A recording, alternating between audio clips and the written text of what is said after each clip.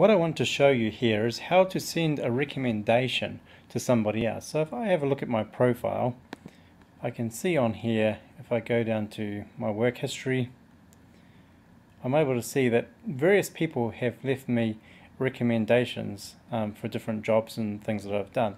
So I want to show you how to do that for somebody else's profile. So what you do is you go to profile and you go down to recommendations. And here it will show you the recommendations that you've received, ones that you've given, and it can also ask for recommendations as well. Now, depending on how many recommendations you've got on your list, you may have to scroll down to the bottom of the screen.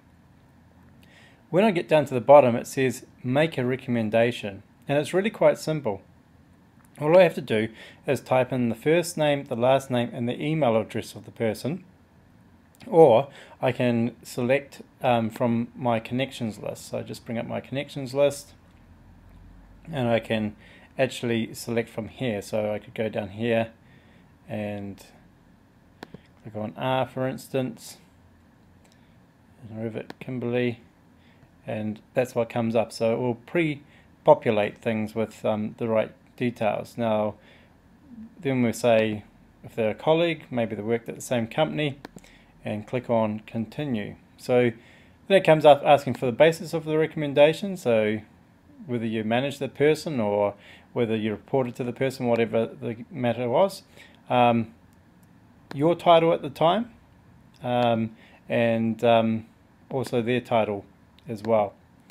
And I can write in here anything that I want to say. Um, I worked with um, whoever the person may be in your case.